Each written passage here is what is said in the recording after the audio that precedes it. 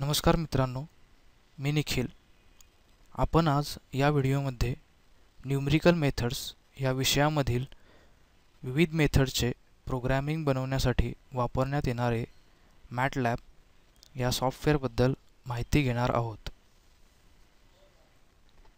आपण आता मॅटलॅब सॉफ्टवेअरची मेन स्क्रीन पाहत आहोत. मॅटलॅब सॉफ्टवेअरबद्दल माहिती मिळवण्यासाठी सॉफ्टवेअरच्या हेल्प मेनूचा उपयोग करूया. त्यासाठी इथे एक प्रश्नचिन्ह दिसत आहे ज्यावर मी आता क्लिक करत आहे. मी क्लिक केल्यावर तुम्हाला इथे बरेच ऑप्शन्स दिसतील. त्यामधील मी पहिला ऑप्शन सिलेक्ट करतो मॅटलॅब आपण आता पाहत असाल मॅटलॅब या पॉईंटमध्ये बरेच पॉईंट मेन्शन केले गेलेले आहेत. त्यामधील मी पहिला पॉईंट सिलेक्ट करत आहे. गेटिंग स्टार्टेड विथ मॅटलॅब तो पॉईंट सिलेक्ट केल्यावर आपण पाहत असाल एक नवीन विंडो आपल्यासमोर आली आहे. त्यामध्ये मॅटलॅब प्रोडक्ट डिस्क्रिप्शन असा पॉईंट मेन्शन करण्यात आलेला आहे जो मॅटलॅब सॉफ्टवेअरबद्दल माहिती देतो. त्यानंतर दुसरा पॉईंट आहे system requirement MATLAB software install करण्यासाठी कम्प्युटरची रिक्वायरमेंट असते. त्या कम्प्युटरची रिक्वायरमेंट काय असावी ह्याबद्दल माहिती देण्यात आलेली आहे. आपण आता मॅटलॅब सॉफ्टवेअरबद्दल थोडी बेसिक इन्फॉर्मेशन कळवून घेऊ. तुम्ही इथे बघू शकता ट्युटोरियल्स त्याखाली पॉईंट मेन्शन केले गेलेले आहेत. त्यामधील मी पहिला पॉईंट सिलेक्ट करतो आहे डेस्कटॉप बेसिक या ठिकाणी आपण सॉफ्टवेअरच्या स्क्रीनबद्दल जी पहिली मेन स्क्रीन आहे त्याबद्दल माहिती मिळवू शकता. इथे जसं लिहिलं आहे when you start MATLAB the desktop appears in the default layout म्हणजे ज्यावेळी तुम्ही मॅटलॅब सॉफ्टवेअर चालू करता ह्या पद्धतीची स्क्रीन तुमच्यासमोर येते जी स्क्रीन ही आहे.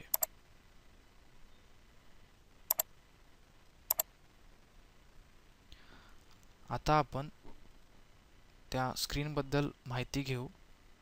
इथे लिहिले आहे the desktop includes three panels first panel current folder access your file तर मी सॉफ्टवेअरकडे जात आहे. तर हा पहिला पॅनल आहे करंट फोल्डर ज्यामध्ये तुम्ही तयार केलेली फाईल कुठे सेव्ह केली गेली आहे हे तुम्ही फाईंड करू शकता. दुसरं पॅनल आहे कमांड विंडो. इथे लिहिले आहे enter command at the command line indicated by prompt. Prompt म्हणजे हे दोन ॲरोज मी सॉफ्टवेअरकडे जात आहे. तर हा दुसरा पॅनल ज्याला कमांड विंडो असे म्हणतात इथून तुम्ही कमांड एंट्री देऊ शकता सॉफ्टवेअरला. ह्या दोन ॲरोना प्रॉम्प्ट असे म्हणण्यात आलेले आहे. तिसरा पॅनल आहे वर्क स्पेस लिहिले आहे explore data that you create or import from files तर हा आहे तिसरा पॅनल सॉफ्टवेअरचा ज्या ठिकाणी तुम्ही तयार केलेला डेटा आणि त्याबद्दलची व्हॅल्यू तुम्ही जाणून घेऊ शकता.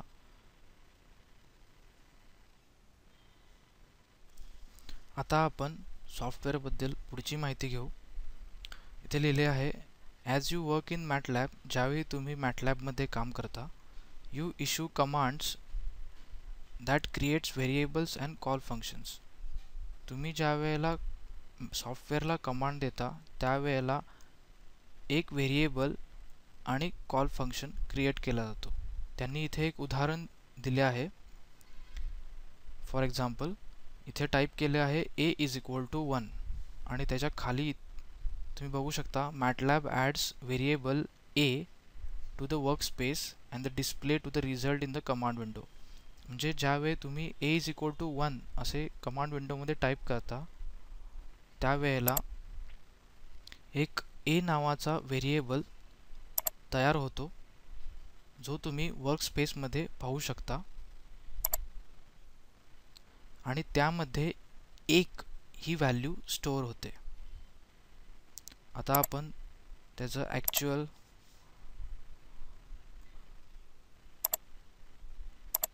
प्रोसेसिंग बघू.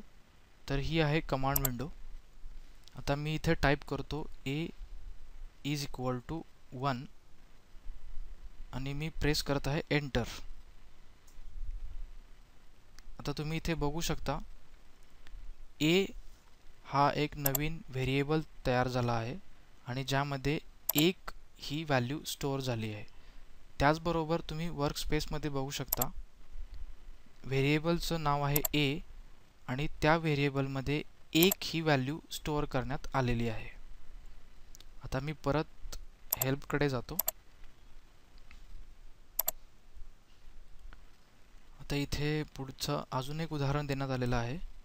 Create a few more variables इथे परत b is equal to two म्हणजे बी बरोबर टू परत b is equal to two जे कमांड विंडोमध्ये डिस्प्ले होते. आपण परत तसंच करू. मी इथे आता टाईप करतो b is equal to two आता बघू शकता एक नवीन व्हेरिएबल क्रिएट झाला आहे ज्याचं नाव आहे बी आणि त्यामध्ये दोन ही व्हॅल्यू स्टोअर झालेली आहे. त्याचबरोबरीनं तुम्ही वर्क स्पेसमध्ये बघू शकता एक नवीन व्हेरिएबल बी तयार झालेला आहे आणि त्यामध्ये दोन ही व्हॅल्यू स्टोअर झालेली आहे. आत्तापर्यंत आपण सॉफ्टवेअरमध्ये व्हेरिएबल कसं इनपुट द्यायचं हे आपण बघितले. आता इथे पुढचं उदाहरण दिलं आहे ॲडिशनचं बेरजेचं. इथे लिहिलं आहे c is equal to a plus b आता इथे सी हा एक नवीन व्हेरिएबल तयार करण्यात आलेला आहे. ज्यामध्ये ए प्लस बी ए हा पहिला व्हेरिएबल बी हा दुसरा व्हेरिएबल ह्या दोघांची बेरीज करण्यात आलेली आहे म्हणजे ॲडिशन करण्यात आलेली आहे. जसं आपण ऑलरेडी बघितलं होतं एमध्ये एक आणि बीमध्ये दोन या दोन व्हॅल्यू स्टोअर करण्यात आलेल्या आहेत. सो एक अधिक दोन असे व्हॅल्यू होते तीन तर तुम्ही इथे बघू शकता सी इज इक्वल टू तीन हे उत्तर आहे. तर आपण सॉफ्टवेअरमध्ये बघू आता ते. तर मी टाईप करतो c is equal to a plus b आणि मी एंटर करत आहे.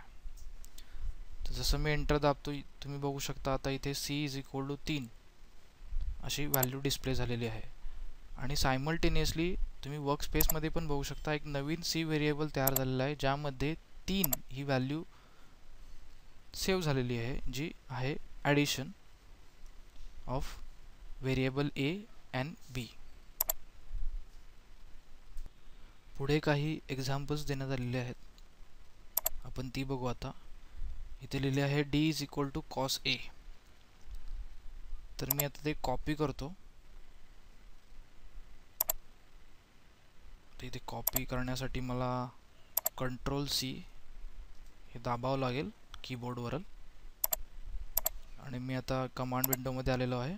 आणि मी टाईप करतो कंट्रोल व्ही तुम्ही आता इथे बघू शकता.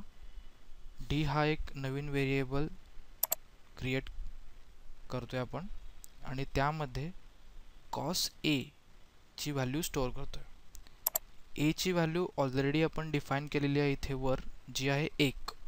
त्यामुळे इथे नवीन एक व्हॅल्यू तयार होईल जी आहे कॉस एची आणि ती स्टोअर होईल सेव्ह होईल डी या नवीन व्हेरिएबलमध्ये तर मी क्लिक करतो एंटर जसा मी एंटर दाबेन तुम्ही बघू शकता d is equal to zero point five four zero three अशी व्हॅल्यू तयार झालेली आहे जी व्हॅल्यू आहे कॉस एची म्हणजे कॉस एकची सायमल्टेनियसली तुम्ही वर्क स्पेसमध्ये बघू शकता एक नवीन व्हेरिएबल तयार झालेला आहे जसं नाव आहे डी आणि त्यामध्ये व्हॅल्यू स्टोअर झाली आहे zero point five four zero थ्रीची आता आपण पुढचं उदाहरण बघू.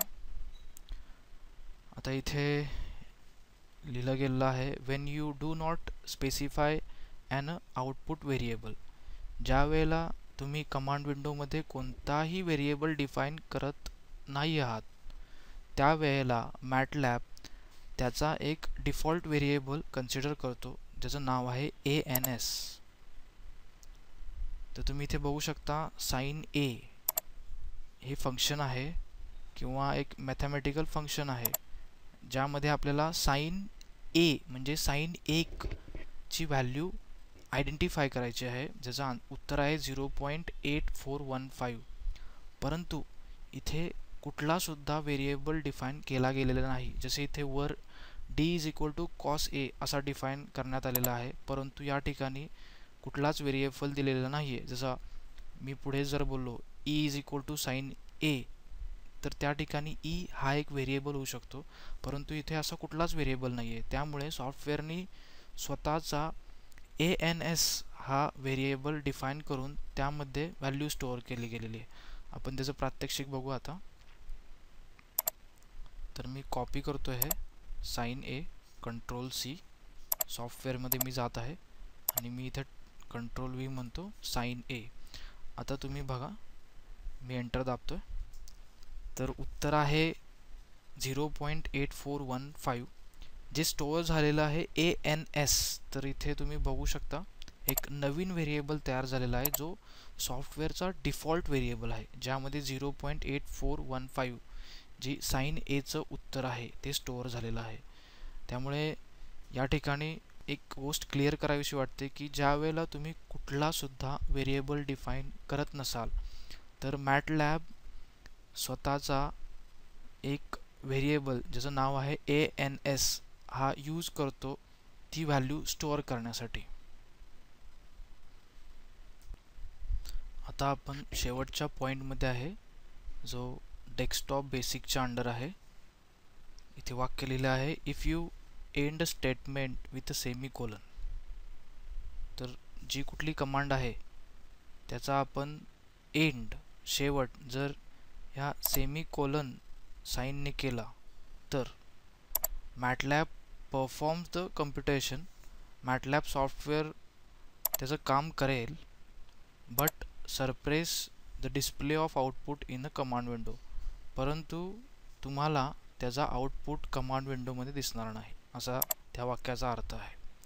तर इथे टाईप केलं गेलेलं आहे इज इक्वल टू ए हे जे साईन आहे ते मल्टिप्लिकेशनचं साईन आहे. So a multiply by b a गुणाकार बी आणि इथे आहे सेमिकोलन आता आपण ते कॉपी करू आणि पेस्ट करू सॉफ्टवेअरमध्ये तर मी इथे कंट्रोल व्ही दाबतो. तुम्हाला आधी माहीतच आहे आपण ऑलरेडी व्हॅल्यूज डिफाईन केलेल्या आहेत. एची व्हॅल्यू आहे एक आणि बीची व्हॅल्यू आहे दोन. जर मी आम ह्या दोघांचा गुणाकार केला तर उत्तर येते दोन. आणि इथं आता एक नवीन व्हेरिएबल डिफाईन केला गेला आहे ई तर जे काय ह्या दोघांचं मल्टिप्लिकेशन होईल आणि त्याचं उत्तर हे e ईमध्ये स्टोअर केलं जाईल.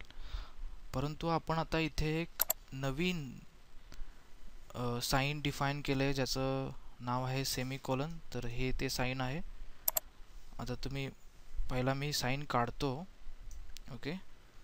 आता मी दाबतो एंटर.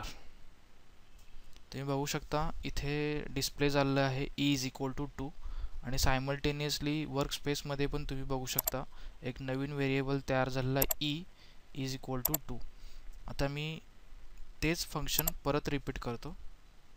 पण आता मी टाईप करतो पुढे सेमिकोलन तर हा सेमिकोलन तुम्ही बघू शकता इथे.